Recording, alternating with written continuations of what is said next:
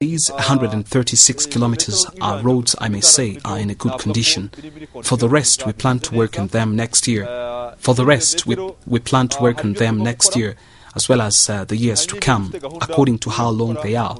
The means we have or the support we get as the district. bitewe n'uko ingana n'inkunga cyangwa se ubushobozi twibonamo cyangwa se tubona n'ahandi nk'akarere ahangaha hari imihanda twakorewe umuhanda munini mu mujyi uva ahangaha ku bitaro ukagera Here we have roads that have been constructed for us, like the main road that goes from the hospital up to the stadium and the airport.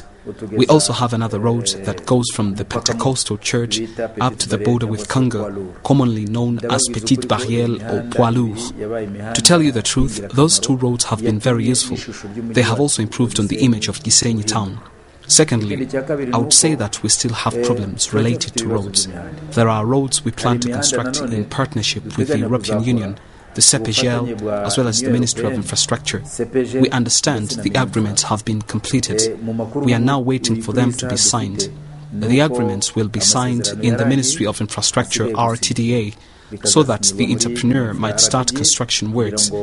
Sewerikoko uh, is the one who won the tender. Those roads are 5.2 kilometer long.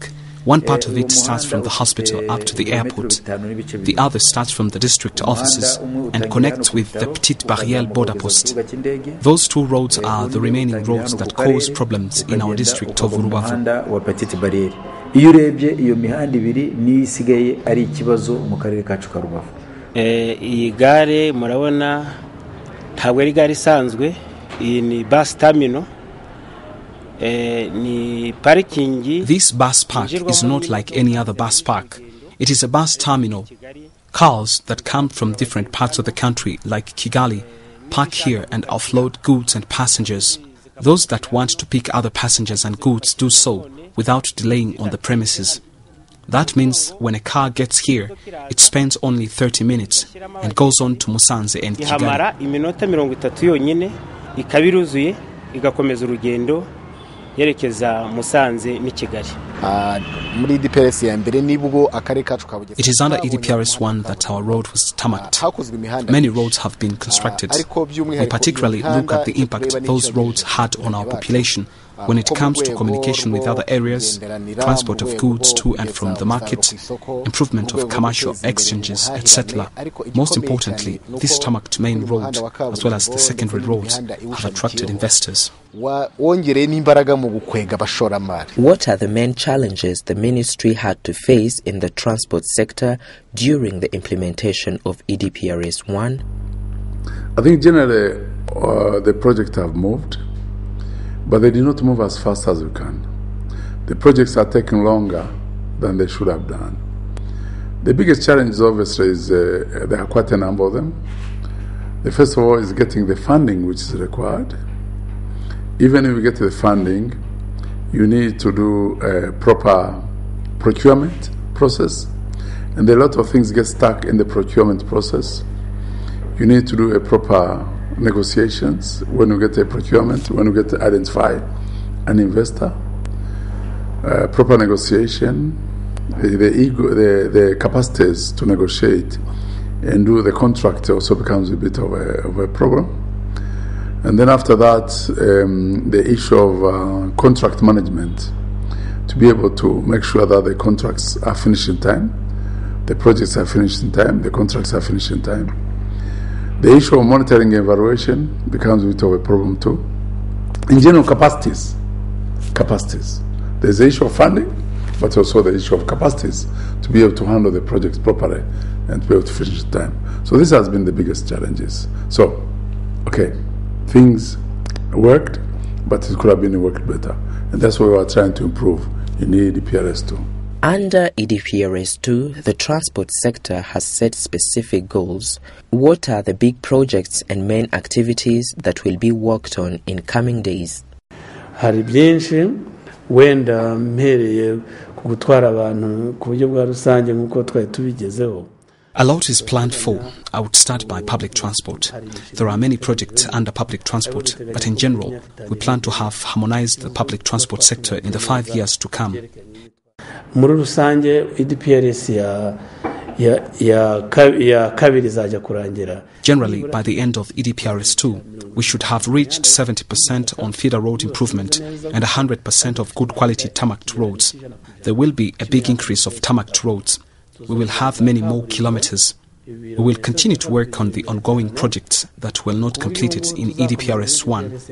Those include the completion of the multinational roads, particularly the completion of Kigali Gatuna Road, as well as the road that goes along Lake Kivu from Rusizi to Rubavu, commonly known as Kivu Belt Road. We will also strive to improve on roads within different towns.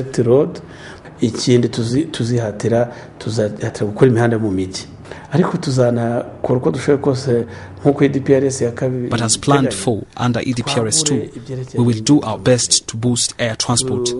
That will be done in two phases. We will first rehabilitate the airports we already have. We are now renovating the Kanombe International Airport. As we wait for the construction of Bugesera International Airport, expected to be much bigger than Kanombe Airport, renovation works that started under EDPRS 1 are still ongoing and should be completed next year.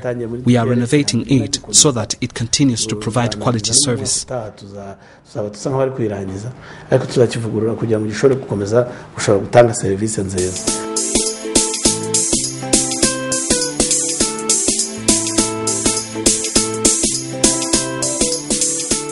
The water and sanitation sector is also very important for the development of the country.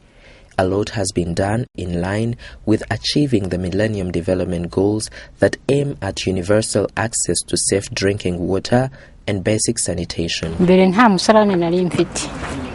I did not have a toilet before. I used to go in a place where I had gathered grass, and when it rained, I would even go into the bush. I now have my own toilet, no more flies on my plates or saucepans. I am really grateful to you for helping me to have access to a decent toilet. bose narabashimiye kuko mwangejeje ku iterambere ryo kujya ahantu hihereye uyu mudugudu nta mazi wagiraga nta This cell did not have water or electricity. It was a cell that was in darkness. icuraburindi. uyu munsi nta kibazo cy'amazi budufite We now have no problem of water and electricity. There were no latrines.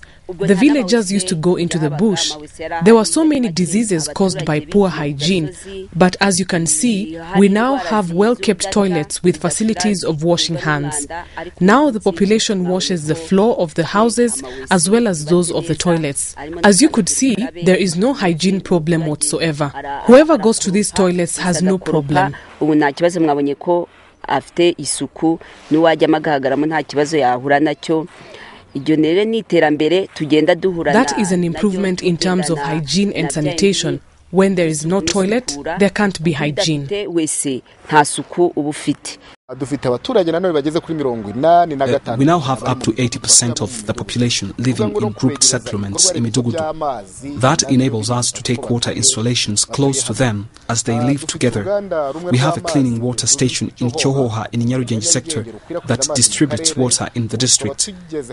We now have up to 70% of the population having access to clean water. However, in partnership with the top leadership of the country, as well as the Ministry of Infrastructure and EWSA, we are planning to construct another water cleaning station under EDPRS 2. This one will be constructed on Akagera River so that the water processed by the station might be added on what we already have to give the entire cell access to clean water. In general, the percentage of Rwandan citizens who had access to clean water up to July 2012 went up to 71%. amazi yarakwirakwijwe mu gihugu abanyarwanda bashoboye Water has been distributed throughout the country. Rwandans now have access to clean water. That has improved first and foremost the health of the population, both in urban and rural areas. That has also enabled Rwandans not to go far from their residence to fetch water. Eh, but the benefits can also be seen in the improvement of using clean water and electricity for their own development. amashanyarazi biteza imbere dukurikije ku rwego rw'abategarugori n'abana Women and children have particularly enjoyed the clean water infrastructure. Before, children went to school after fetching water, and that made them waste time they could otherwise use to revise their lessons.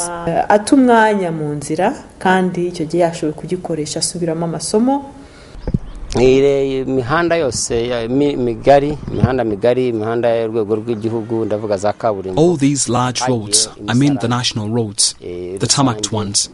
public toilet facilities have been constructed. Oh, there are toilets in schools churches what still needs to be done now is getting the whole population have access to toilets so that the hygiene and sanitation facilities might not only increase in number but also develop the culture of using them adequately. All that will have a positive impact on the lives of Rulindo citizens. The fact that these public toilets are here makes it easy for us before getting them, we used to go in the bush, and that was not clean at all.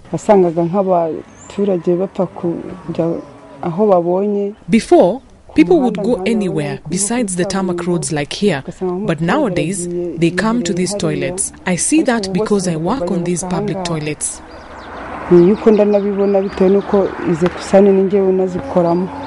Infrastructures are the engine of the development and the economy Rwandans strive to reach in line with the Vision 2020. The Ministry of Infrastructure will therefore continue to do everything possible to increase and maintain infrastructure for the benefit of all Rwandans.